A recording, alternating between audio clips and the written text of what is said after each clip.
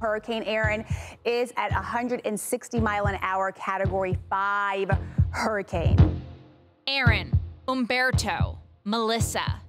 Melissa's winds now being recorded at 175 miles per hour, guys. That is appalling for a storm that is headed directly toward a populated area to make landfall. Three massive Category 5 hurricanes roaring through the Atlantic.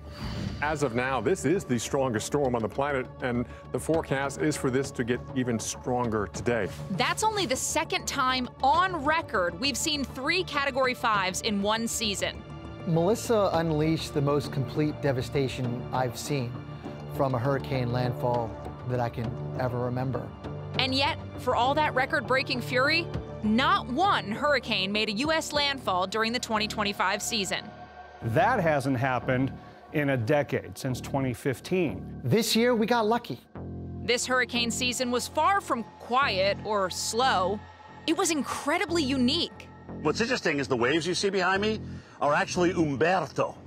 Okay, they're not Imelda. We haven't gotten into those yet.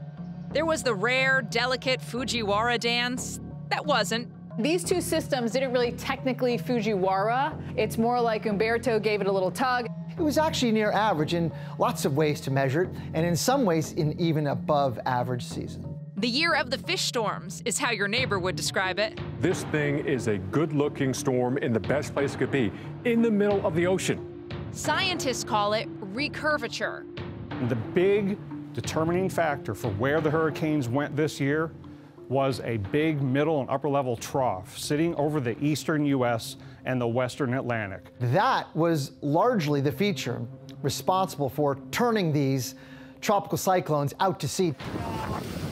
Despite being 100 or more miles offshore, some of these recurved storms cause serious damage. The East Coast, and in particular the Outer Banks of North Carolina, undoubtedly took uh, a hit with big waves, coastal flooding, beach erosion. No. No. In early July, Chantal did make landfall in South Carolina as a tropical storm. It dumped nearly a foot of rain on parts of the Carolinas, and six people died in the flooding. We always say it's not about how busy the season is, it's about how bad it is. For Western Jamaica, Hurricane Melissa was beyond bad. The damage looked like a high end tornado. Winds were 185 miles an hour at landfall, 2025's strongest storm worldwide. Hurricane Melissa is blamed for nearly 100 deaths in Jamaica and Haiti. Melissa is a reminder that if we didn't have our hurricane plan in place for 2025 to do that for 2026, it doesn't even take a Cat 5. A slow moving tropical storm or a Cat 1 can be a water disaster where you live. So think ahead now and prepare for hurricane season 2026. It'll be here before you know it.